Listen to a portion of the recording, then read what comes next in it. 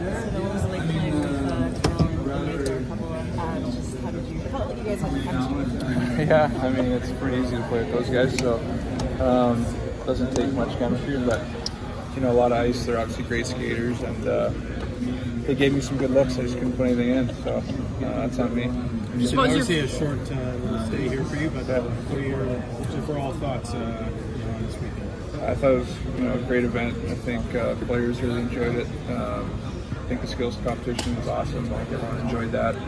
Uh, obviously, we have this much talent on the ice, you know, together, uh, it's fun to watch, fun to be a part of, and I think the fans uh, were really excited and have uh, you know showed that by the turnout. So you know, I think the city did a great job of hosting everything here, and it was a lot of fun to, to be here and experience it as a player.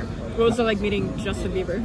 So you took I had met him before um, years ago, but good to see him out there on the ice with his gear on, taking uh, taking warm up and uh, being part of it. So um, yeah, that was that was cool. During the skills challenge, you were bouncing around, talking to all sorts of different guys. You know, what did you kind of take away from that? How enjoyable was that for you? Yeah, I think that's it's part of the fun. You know, I said before, it's seeing familiar faces and meet new guys, and um, it's a rare opportunity to be able to do this. So um, I think yeah, just getting to see guys talk and have some laughs, and uh, obviously things get pretty serious here in the second half, and you know guys will go to their respective teams and compete. But uh, when you're together like this, you try to enjoy it as much as you can. Why, why do you feel why do you feel this event is, is important for the NHL?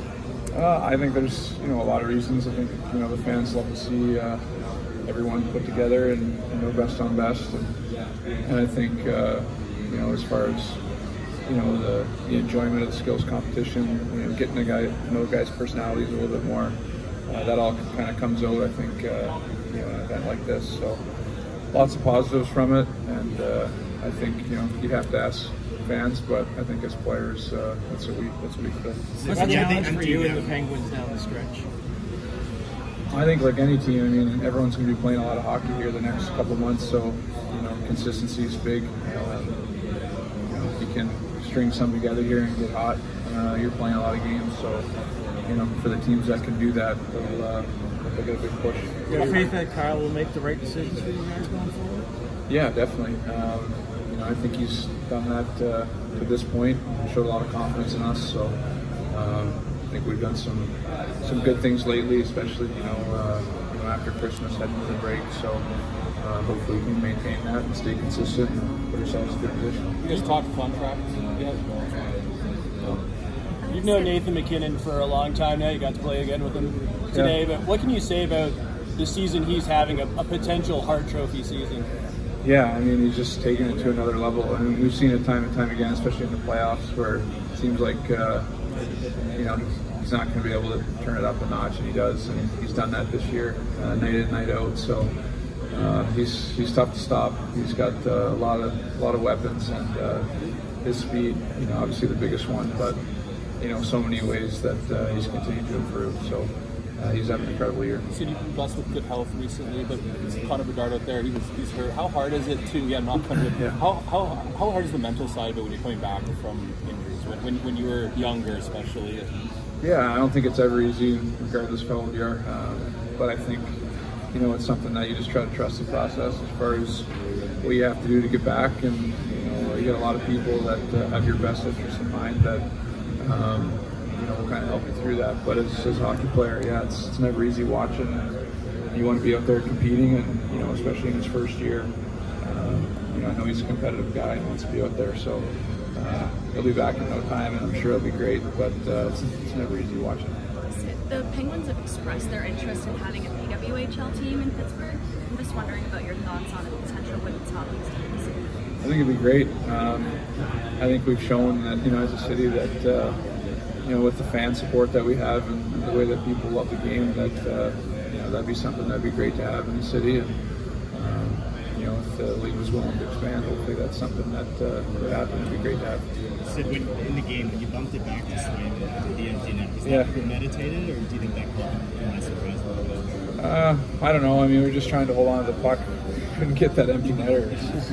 you know, guys were too nice out there. They'll go for it on Tuesday or Monday, but they didn't want to go for it in a three-on-three game in the All-Star game. So, um, guys have to get a little more greedy in that situation. But it would have been cool to see him put one in. Obviously, uh, you know, you want to try to put a show on for the fans. I'm sure they would have loved to see that. But you also want to get the win. So I think everyone was kind of in between on that one. Are you looking forward to the August?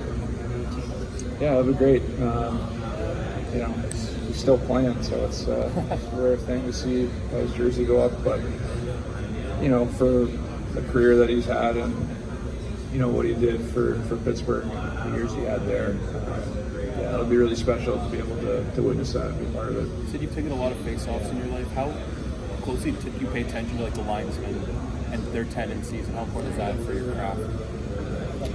Maybe a little bit. I mean, they're all pretty consistent as far as you know the process, and how they drop it, and things like that. But you know, there's always little things that you try to pick up on if, if it's there. But uh, for the most part, it's, it's pretty consistent. It's just it's up to you uh, finding ways to win them. What's the oldest piece of equipment? Shoulder pads? Uh, yeah, I'd, I'd say shoulder pads. Yeah, How old? How long do they go back? junior. Junior? Yeah. Why do you, Why haven't you replaced them?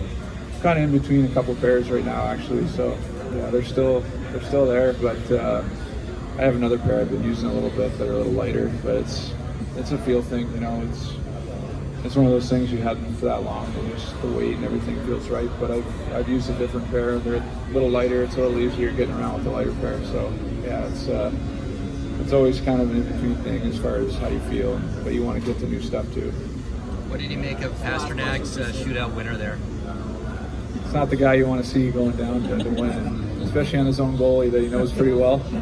So could go either way, but uh, I mean, how many of those have you seen where he holds it there? And I mean, on the bench, you have no idea where it's going. I can't imagine what a goalie's thinking on that. So he makes it look pretty easy.